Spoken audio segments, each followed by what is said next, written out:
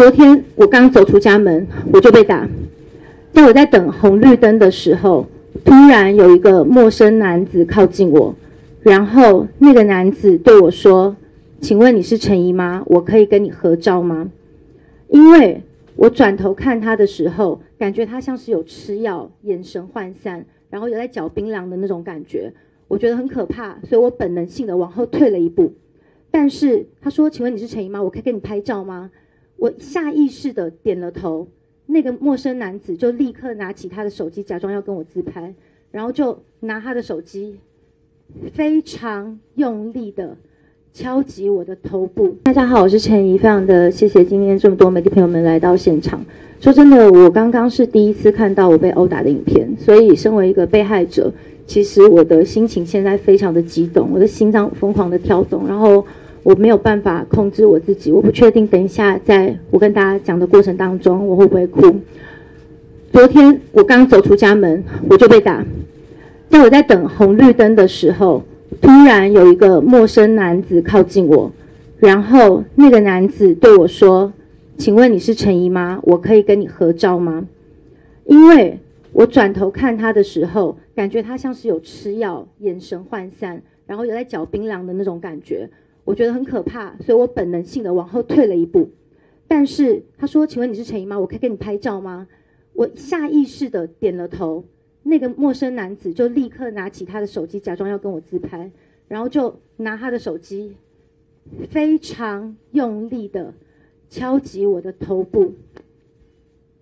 还好我的反应快，我稍微往旁边闪过一点，但是还是被他敲到了耳朵，所以大家可以看到我的耳朵这边。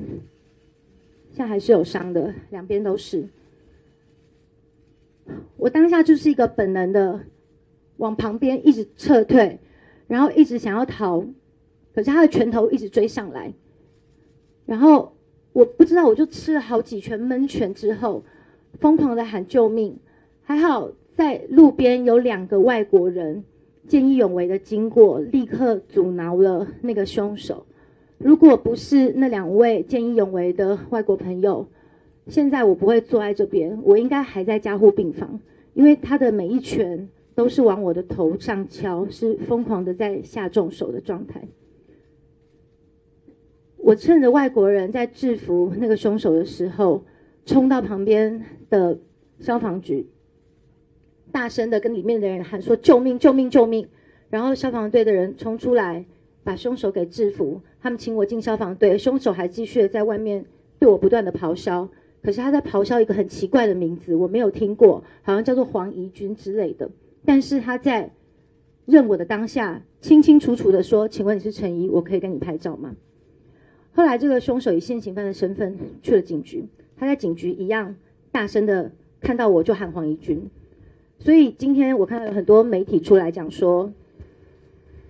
那个凶手是认错人，我在这边要讲，他没有认错人，他从头到尾就是针对我本人而来。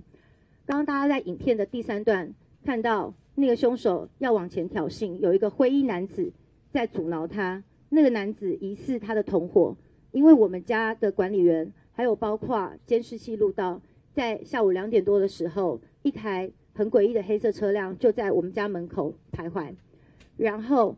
那个灰衣服的男子，他是这样子供称的。他说他当时在车上睡觉，不知道他的朋友冲下去打人，等到他发现的时候，就下来进行阻挠。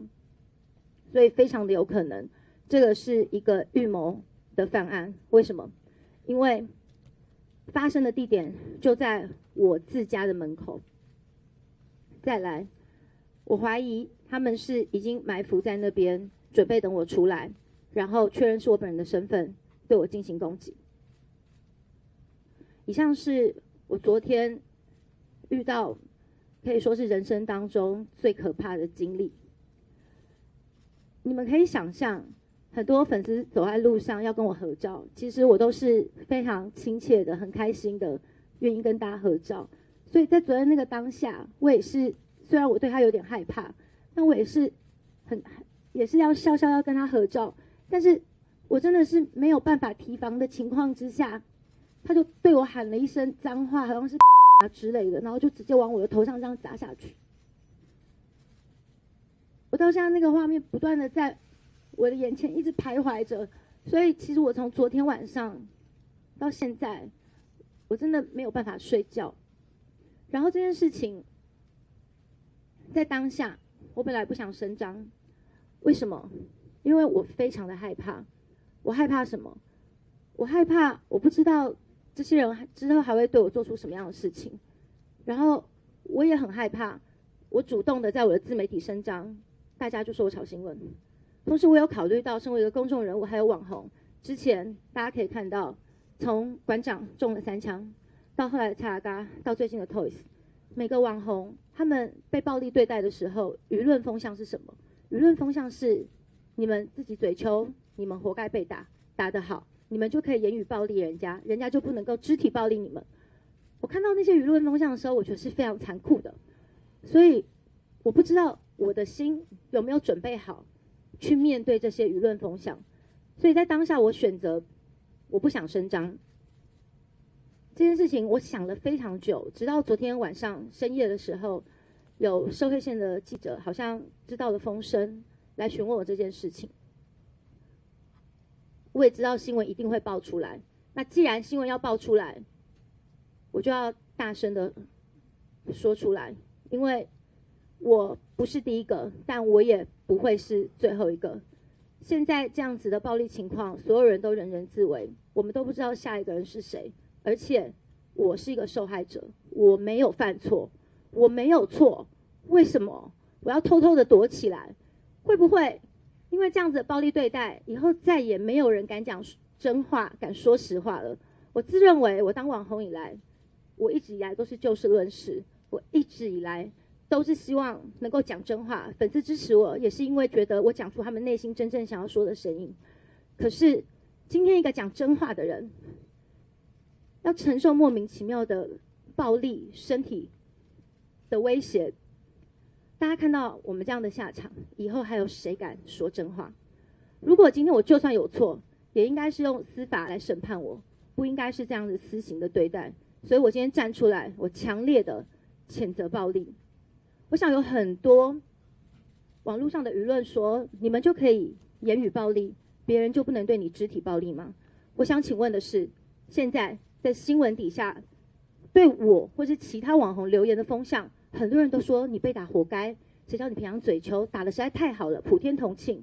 请问一下，你们这些言论对我们来说，难道？不是言语暴力吗？难道不是谴责受害者的言论吗？你们觉得你们这些言语暴力值得被肢体暴力对待吗？如果你们不觉得，你们怎么可以纵容这样的暴力？今天我们之所以选在立法院举办这场记者会，大家觉得我有多了不起？我能来立法院举办记者会，但是宪法本来就保障我们所有人民免于恐惧的自由。可是此时此刻，我想跟大家说，我很恐惧。我希望。所有在收看这场记者会的各位，所有台湾的人民，每一个人，你们都可以自由自在说自己想说的话，做自己想做的事。我们都不要害怕，我们都不可以恐惧。希望我们的国家、我们的社会可以还我们一个公道。谢谢。因为我得罪的人真的非常的多，所以每一个我可能讲过的人都有嫌疑，maybe 包括旁边的乔欣也有可能。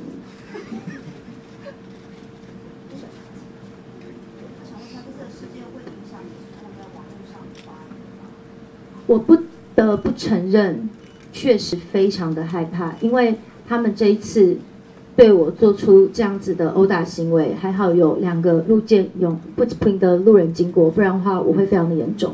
所以下一次再出现，我不知道他们还会对我做什么样的事情。其实我真的有认真的在思考这个问题，可是我有想，如果因为这样子我就闭嘴了，是不是告诉这些人，暴力是有用的，我们都可以用暴力解决问题？就是因为这样，我今天才要站出来开这场记者会，因为我想要向暴力宣战。我认为暴力是不能解决问题的，我们永远拒绝暴力。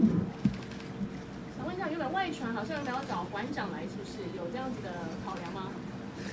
没有要找馆长来，但是我有联系馆长，然后也有联系其他的网红，希望大家可以一起出来谴责暴力，因为今天我们陆陆续续遇到这样子的问题，我们不知道下一个出事的会是谁。之前 Toys 跟这个超派就是打架的事件，然后其实超派揍人，然后后来还交保，然后出国，那衍生了一些模仿犯，包包含一些学生也用超派点名打打同学，那这次事件可能也是模仿犯。那想问一下，这个队会不会因为这样有后续一连串的效应暴力？我也认为超派事件变成一个风潮，确实很容易造成模仿犯的形成，而且大家看到他们轻轻松松五万块就交保了，所以大家就觉得打人根本没有什么，把人家打到头破血流根本就没有什么。那今天我的这个案子，那个凶手也是五万块就交保了，这也是我们今天为什么要在立法院的原因。我们希望我们所有的委员们可以一起正视我们目前。法律体制的问题，司法真的能够保护我们的人民吗？政府真的能够保护我们的人民吗？如果政府跟司法都不行，台湾的人民不是活在恐惧当中吗？我再问一下，刚刚有说妈妈有到场，是不是？那会不会担心之后家人的一些人身安全？会，所以希望大家不要拍到我妈，因为很担心家人的人身安全。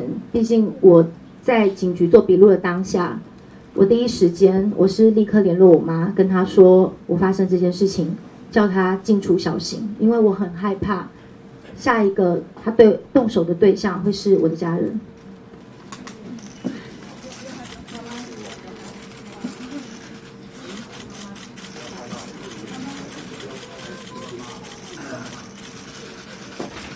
我妈接上马赛克。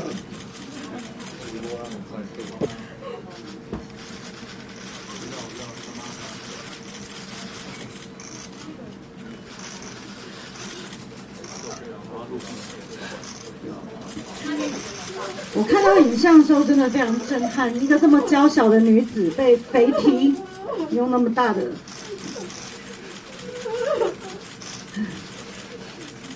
你没有错，你讲这个，我也没有错。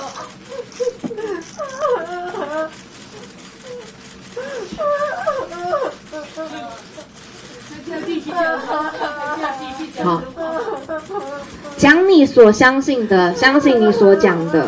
嗯，真的，我我知道，我知道压力很大。我们每天在电视上面做这些发言啊，有的时候也会有人讲说，你要小心你自己的人身安全啊，也会有很多的威胁恐吓。好，那哦，说不要怕是假的，但是，好，那我们四个人给他们母女一个温暖的拥抱。对。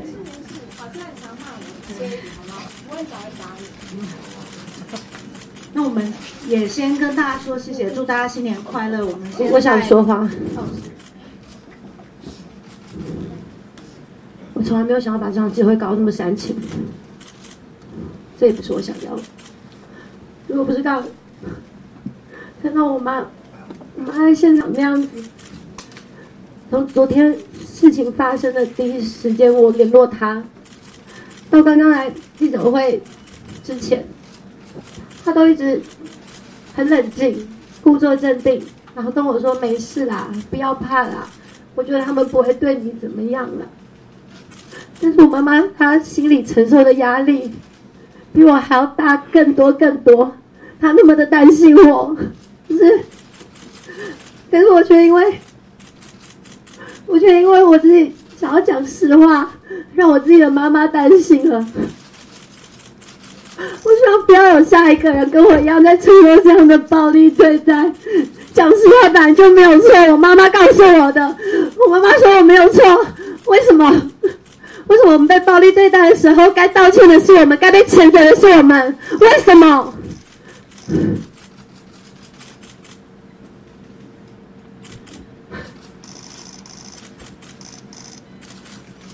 谢谢大家。